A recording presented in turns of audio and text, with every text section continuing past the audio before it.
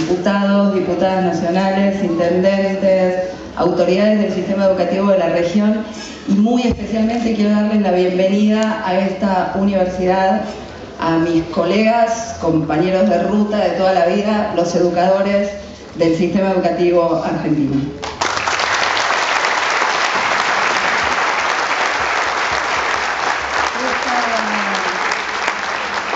Esta universidad, la Universidad Nacional de General Sarmiento,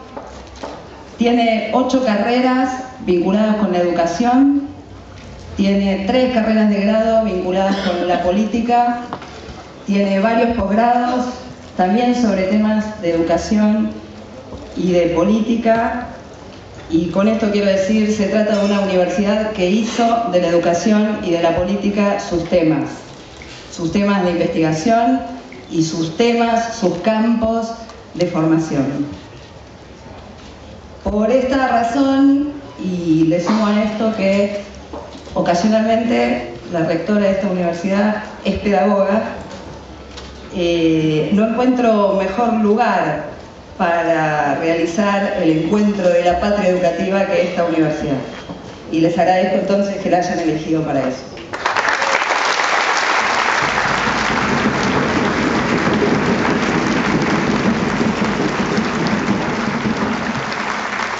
Hace muchos años, con una colega que muchos de ustedes conocerán, Graciela Frigerio, decíamos que educar es ese acto político. Y con eso queríamos decir que educar es el acto político. Y cuando decíamos esto, decíamos educar es el acto político, porque educar es la acción, si lo pudiéramos definir rápido, de distribuir una herencia designando al colectivo como heredero, designando a todos los chicos, los jóvenes, los adolescentes como herederos de la herencia cultural que tenemos para pasarles. Y los educadores sabemos que ese gesto de transmisión de la cultura que sostenemos todos los días desde las aulas, de las escuelas y desde otros, desde aulas de otros lugares, de otro tipo de organizaciones, ese gesto de transmisión, decía, es el gesto que le hace lugar que le hace un lugar en este país que les dice bienvenidos a este mundo a las nuevas generaciones. En este sentido, decíamos, educar es el acto político porque educar y las políticas educativas son también, son sobre todo, políticas de la justicia, políticas de la memoria, políticas del reconocimiento. Celebro, entonces, que los educadores fundamentalmente sean convocados aquí a esta patria educativa para debatir el futuro político de este país. Celebro que seamos los educadores, junto con el ministro de Educación, eh, junto con las autoridades del sistema educativo y junto con todos aquellos que están dispuestos a conducir estas políticas educativas, los que discutan no solo política educativa, sino también que discutan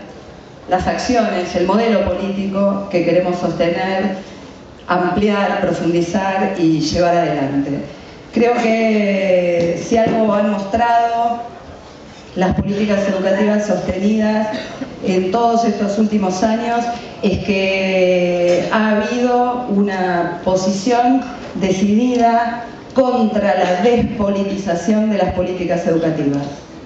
Creo que